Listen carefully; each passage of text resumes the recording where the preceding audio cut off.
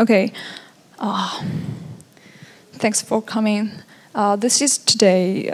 Uh, my speech is my speech topic is all you need to know to build your own GPU machine learning cloud. Um, this is about me.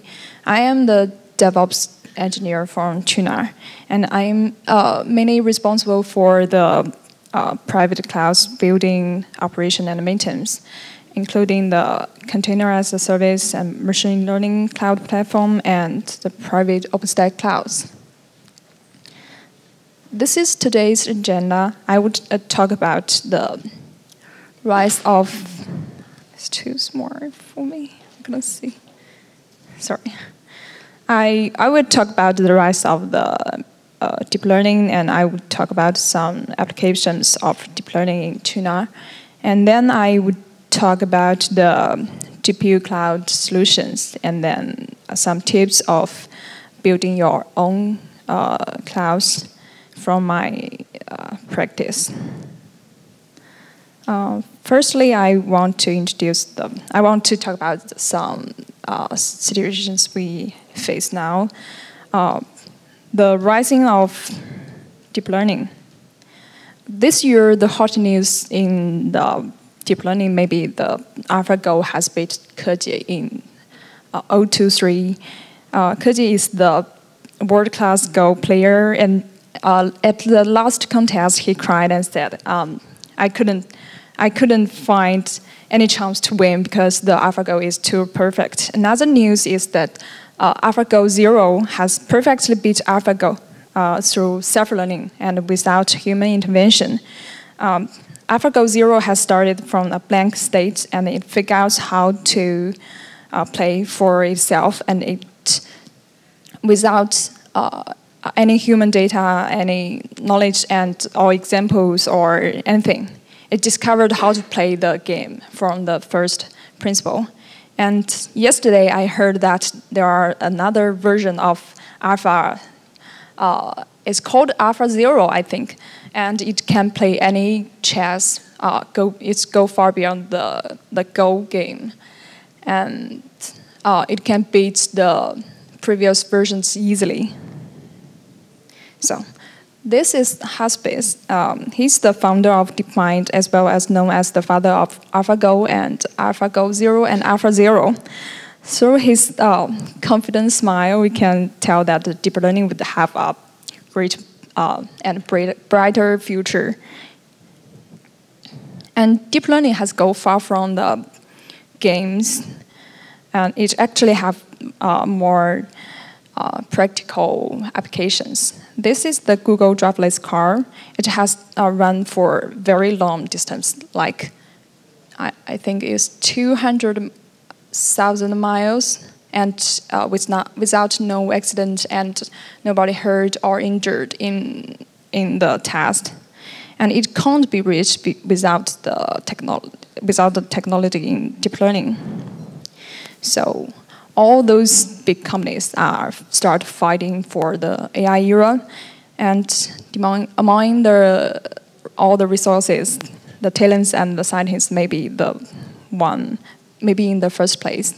Uh, as maybe some people know that Li Feifei from Stanford has joined Google, and uh, Amazon's uh, the Ren Xiaofeng from Amazon has joined Alibaba as the vice president.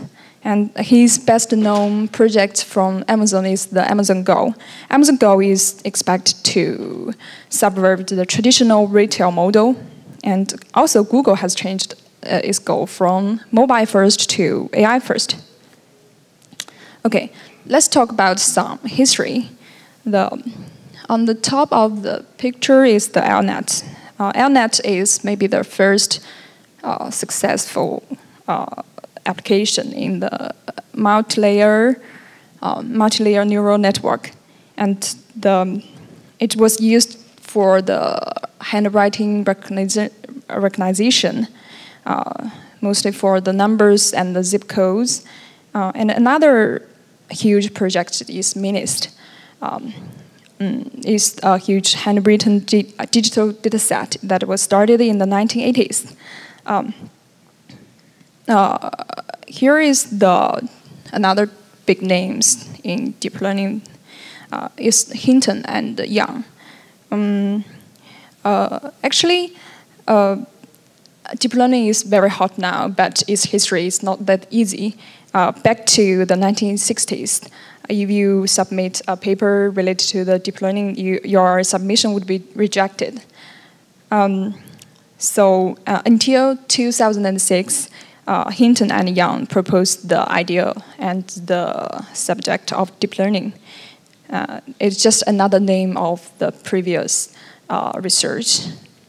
So from those histories, we, we knew that the uh, we know that the deep learning is already put up in the night in, in, in for decades, but why it come to the people's vision again at this moment, I have at least three reasons why. The first one is big data, and the, the data is the data volume and the uh, the way and the we can get the data easily, and the data volume is uh, much bigger than uh, the past. And the second one is the the cost of the compu computer uh, resources is is uh, reduced a lot, such as the GPU and more TPU invented by Google, and the popularity of the uh, open source tools, uh, such as TensorFlow and some like Keras or PaddlePaddle Okay, GPUs are uh, deep learning accelerators because uh, we used to take uh, experiments for like for uh, several months or several days, and then they, we finally find out that our models and our parameters may uh, may uh, just a fault, and we need to change it. And maybe another month passed. the, the the process is quite pain.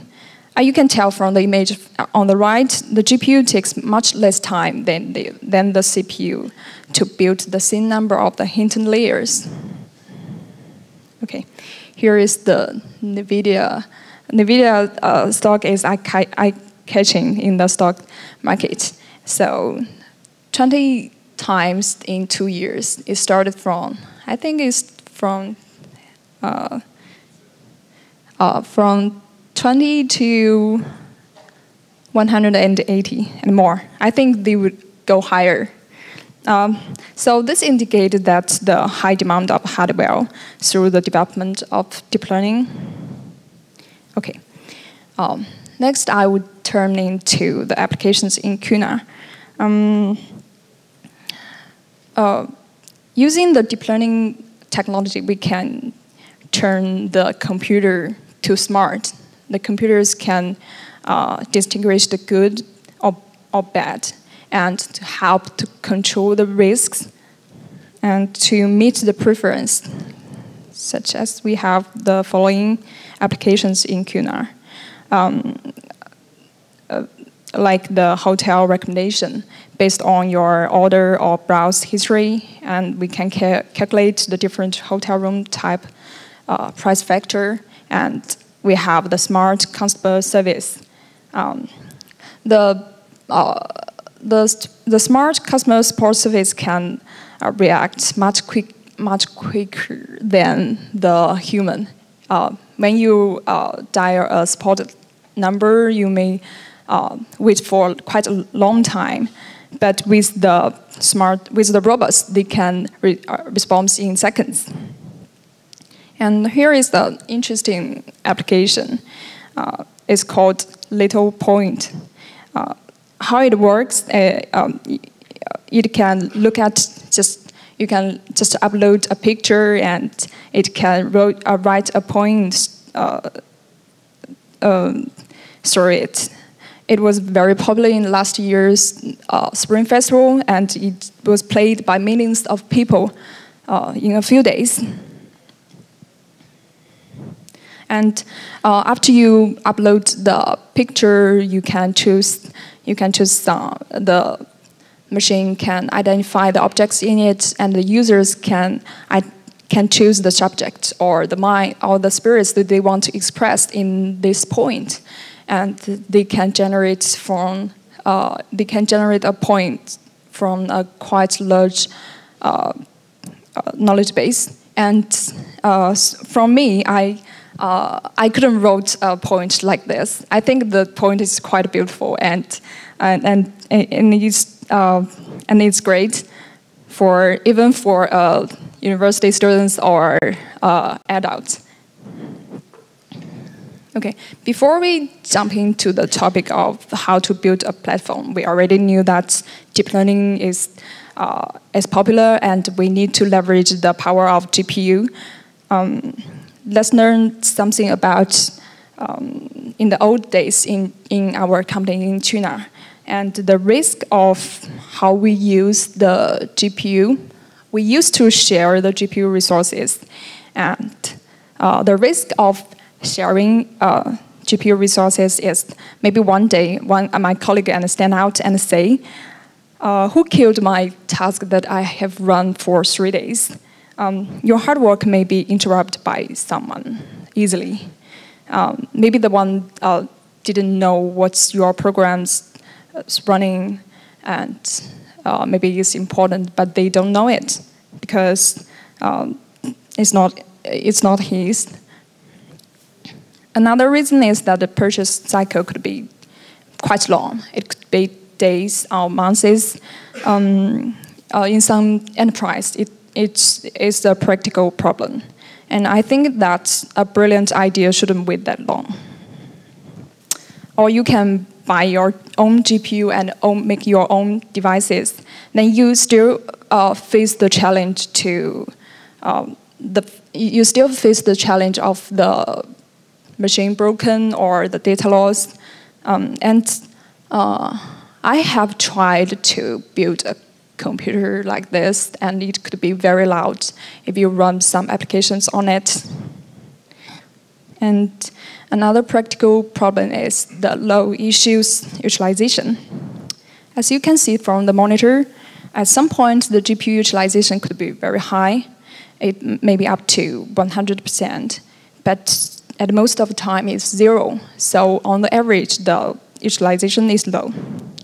Okay, to sum up, there are some problems of the old ways to using uh, GPU resources.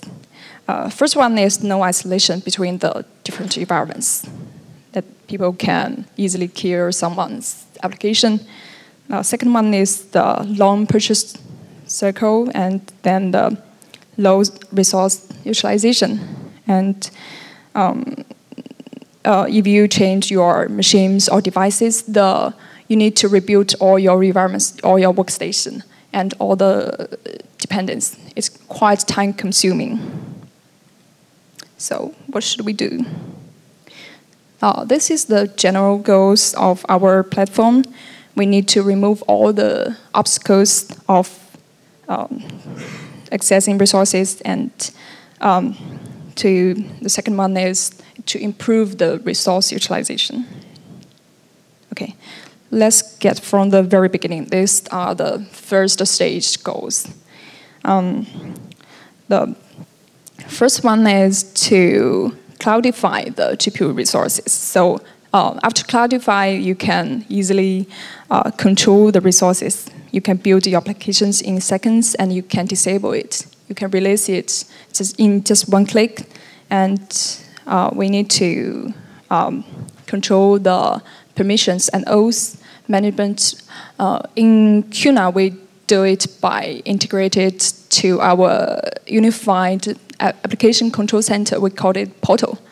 I believe that in every company, we, maybe we have something like that. And the third one is the environment isolation. And then uh, we need to ensure the uh, data availability in uh, distributed environments.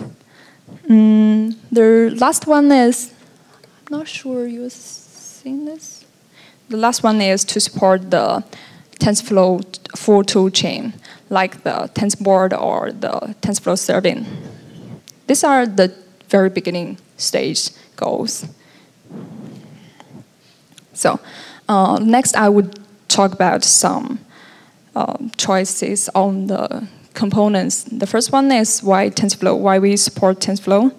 Um, here is the comparison um, between TensorFlow community and uh, others. You can see that the star, the number of star, fork, and issues and the PR is much larger than other community. And also we can see from this, this is um, sample code for MNIST. Uh, it's just 149 lines. Uh, and, and it ha has defined two hidden lines and it's defined the softmax uh, regression model. And it's quite clear and so people can uh, maintain, maintain it easily. Also, this is the screenshots for the TensorBoard. Um, this one of uh, one of the favorite things I like uh, TensorFlow is TensorBoard because it can show how your uh, model works and the main graph uh, it automatically generated. It can show the connections between all the neurons. It's quite convenient and obvious. Okay. Um, after we pick up the deep learning uh, framework, we need to think about cloudify our GPU resources. Um, we have two choices then, back then. So one is Mesos, another is Kubernetes. So why we don't choose uh, Mesos? Actually, Mesos is good at uh, in job uh, scheduling, but back to then, Kubernetes is uh, much better to handle the GPU resources and it's uh, have multiple um, persistent data integrate, integration plugin. So this is our final combination is Docker and Kubernetes. Uh, using Docker because it's immutable, so uh, we can keep our environments uh, environments um, unique and people don't need to reinstall their dependencies and the libs again and, and again. Okay, so why the Kubernetes? Here is the details. Um, Kubernetes is not only for the container orchestration, and it also can uh, mm, detect the GPU resources. It has ability to being aware of the hardwares you can detail, uh, detect how many GPUs you have on the machine and, uh, and the models of your hardware. Um, it can tell it's K80 or P100. Um, also, it has uh, multiple storage backend to integrate, which is very important to the deep learning or machine learning. Okay. Um, after pick up the main framework to cloudify our uh, GPU resources, we need to think about where is our data stored. As we know, data could be very important while we are doing the training. Um, a stateful application uh, is important because the GPU resources is precious and uh, it can be uh, disabled in some time. But uh, when you came back, you, you, you came back with the GPU resources you, you gained, and you want all your contexts, like the training data and the checking points. So data is important. This is what we do. Um, we provide the, we, uh, the image may be a little bit uh, Okay, I, I can explain. Um, we provide two ways to access your data, and this is based on Ceph. Uh, the first way is uh, actually we are not using the S3 uh, from AWS. We are using it from Ceph. And the two ways we provide, the first one is to provide the data volume access, and the second one is to provide the uh, S3 standard API. Um, uh, as you can see from this picture of the Ceph monitoring, uh, it's, um, it's bigger than any single machine's uh, capacity. And for one advantage from Ceph is you can easily resize it and no need to stop your application and no need to transfer your data while you change your um, while you change your devices. It can just uh, it can be done just with one click, and then your space expanded. Okay, uh, here is um, our choice to uh, complete this. Um, um, we choose Minio to uh, help us to turn, turn Ceph uh, data volume to have the ability to provide S3 standard API. Mm, uh, uh, Minio is quite lightweight, so we deploy it with our application. Um, and we didn't e even use the multi, multi-tenant feature here. And this one you can uh, if you want to use this, you can just maybe one command line from the Helm. Okay, next. Next uh, components we choose is Jupyter.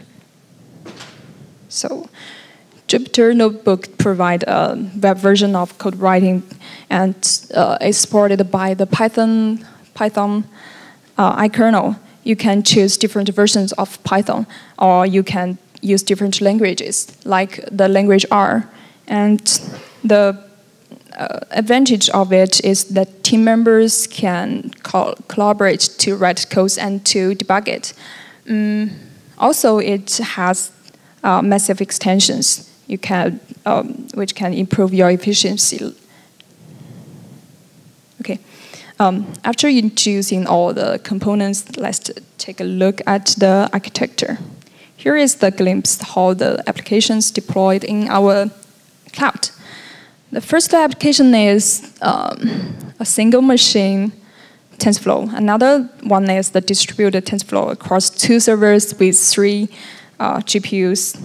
And it has one parameter server and three workers.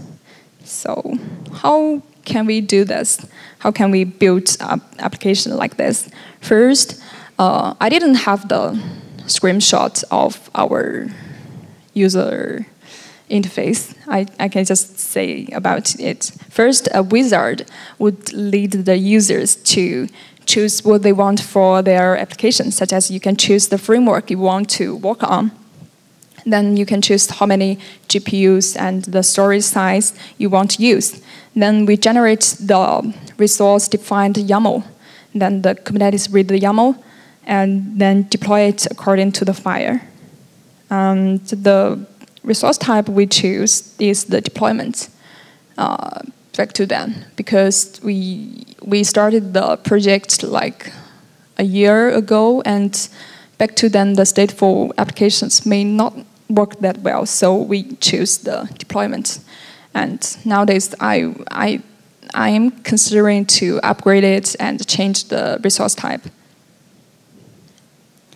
Okay, is um, sample workflow of a developer or a data science or a machine learning scientist daily work. Um, maybe one developer came up with some idea of some model, then he want to have a playground to test it, and then uh, you finally figure out how to um, how to build your models and the parameters and all the arguments is that you can distribute it um, to the real servers and our platform can help to do with it. And finally, your um, well-tuned and well-trained model, uh, you want to put it online, we have the TensorFlow serving and it can easily put your models online.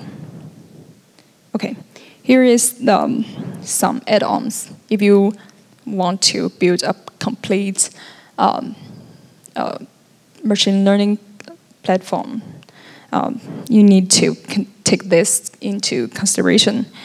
Mm.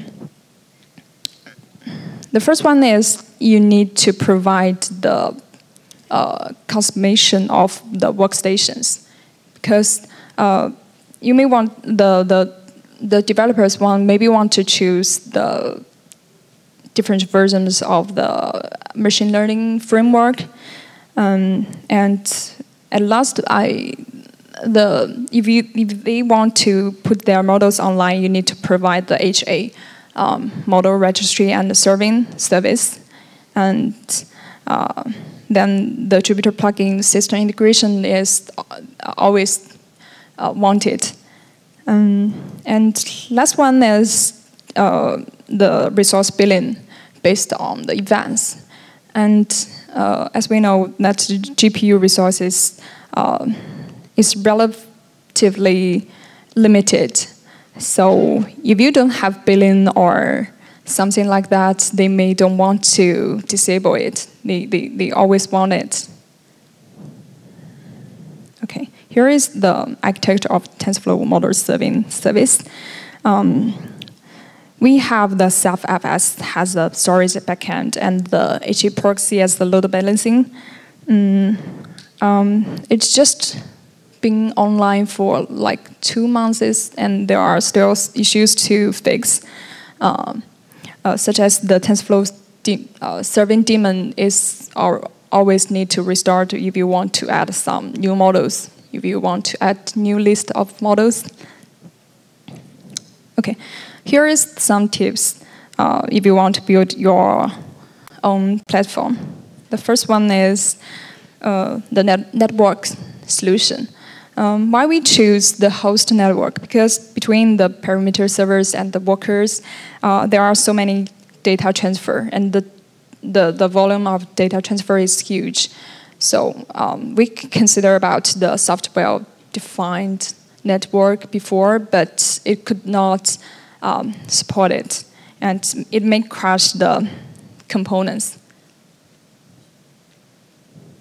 Or, and uh, the service discovery, we use the DNS. Um, we don't use the original the kubeDNS because CoreDNS is, is we can easily compass by it and uh, we can uh, it have so many APIs and we, we also uh, can use the core DNS uh, together with the traditional KVM DNS services. Mm, and another thing you need to consider is the upstream and downstream uh, data pipeline. You, may want the data from the HDFS, and maybe you want to um, uh, you want the AI ops from the metrics data from uh, any other systems. Uh, here's more tips about if you want to build your own GPU clouds.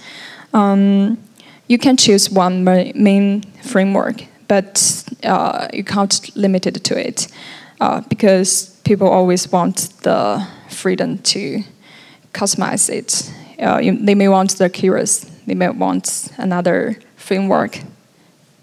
Um, and about Ceph, because Ceph is quite important in this uh, system. We are all based on it. If the Ceph is broken, then the whole system is down, I think. So uh, one main issue we run into is the mm, stop using the uh, kernel RBD with the low version of uh, of kernel because it can run into very serious problems. It can cause the, the kernel deadlock. If you if the data volume is data transfer volume is huge. And you need to test it and benchmark it before you put it online because it's important okay to sum up uh, here is uh, some comparison of the before and after uh, as you can see the before we need to coordinate the gpu resources on ourselves and um, it's hard and time consuming and it's annoying. And second one is um, you need to set up the environments every time. Uh, you need to install the dependencies and the libs. And I couldn't see. Um, and uh, another problem from the environment of sharing the resources is the environments pollution. You, you, you uh, someone may install the different versions of libs on your workstation. uh, it can cause uh, crashes in your apps. And the data sharing mm, uh, problems while you are using the distributed frameworks. Um, and also the data size is limited to the local disk uh, size. And after we have this cloud, uh, we have solved the environment isolation problem, and uh, we can set up the environment and disable it in just in seconds. And also we have the multiple access to our data. You can have access to it through the uh, S3 API, or you can have you can access it just like your own disk. And another one is uh, you can have all the add-ons from our uh, cloud platform. So that's all. Um, so that's all for my sharing.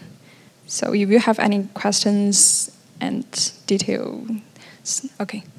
You mentioned you're running Ceph. I'm just curious, are you running that on your worker nodes as well, or how are you running that in Ceph? No, we run it in separate because you know uh, machine learning is quite memory consuming. I think, uh, yeah, it it may take lots of memory, so we separate it. You're exposing a file system into the containers with Ceph investment. Uh, yeah, CephFS is just for the model registry. Re yeah. Okay. With, uh, what tools or any recommendations do you have around GPU billing and chargeback, showback? You mentioned that as a critical follow-on tool was to do GPU billing. What tools did you use to do that since it's not native that I'm aware of? Bell, I, I, I You mentioned GPU chargeback Charge- showback, so being able to bill the GPU resources once you cloudify them. mm-hmm. What tools did you use to do that? Windows feature, billing feature. I, I don't think I understand the word of. Oh, oh, billing. Okay. Oh, sorry. Um, actually, it's based on. Uh, it was uh, written by ourselves, and we use the MQ to listen to uh, to collect all the events, and then we. Uh, this part was written by ourselves. Yeah. sorry. okay. Sorry, uh, you did talk about how you generate your Docker images with all the required software and all the add-ons and everything. Um, we used to uh, use the Jenkins to build the the Docker images. We, uh, we have the re- repo, repo to store the Docker files, and um, and in our unified application control center, and every people have app code, and they can only submit to the, the Docker file to the to to the Docker file modified modification, I think. And then the Jenkins can build it automatically. Yeah. Okay. Do you have issues with people scheduling on the GPUs and then having basically idle tasks? Like they, they might schedule a GPU job which then just sits there forever. Yeah. Uh, we always have that problem because So how do you handle that? We, we, we handle that by the billing system. Yeah, because billing is important. If, if, they, if we don't charge them, they can they, ca- they, they may want the, the resource all the time. Yeah, because maybe um, in mm, in my uh, experience, because uh, we we cannot only uh, monitor the GPU utilization because people may uh, pre-train their da- their data in like the CPU resources, and we can't it. And yeah, hmm yeah, I think. Okay. Ah, so many questions. Okay. Give a chance to.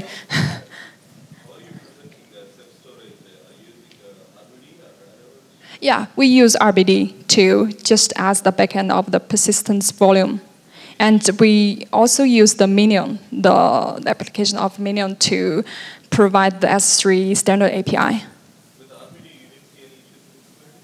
Yeah, I, I, I have just mentioned the, the, the issue that if you use the low uh, version of kernels, it can run into some serious problems and, and other many other problems. So you need to test it and benchmark it before you put it on the production environments, I think.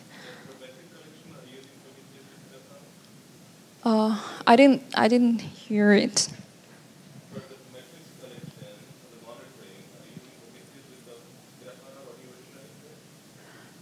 Uh, uh, we use the how to pronounce it the pro. Yeah, yeah, yeah. it's very hard for me. Okay. Do you see a use of serverless technology in your environment?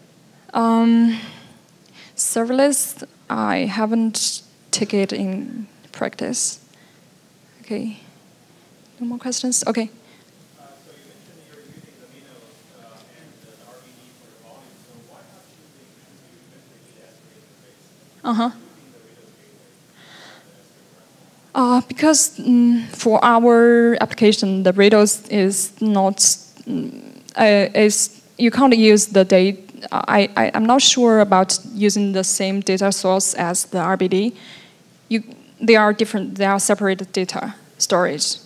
If you use it as RBD, you can't use the Rados gateway to the same data data paths.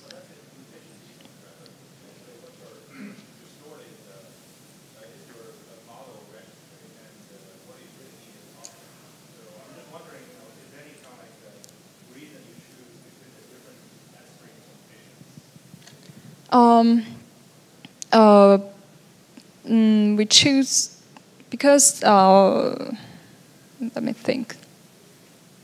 Mm. Because in uh, while you are doing the training job, uh, you may have uh, read the data from the disk, and you may have uh, you the the the program enable you to use the S3 API directly. So we provide both.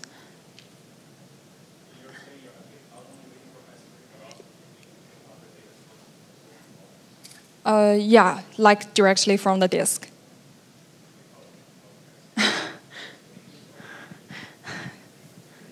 okay, I think time is up. Okay, thank you.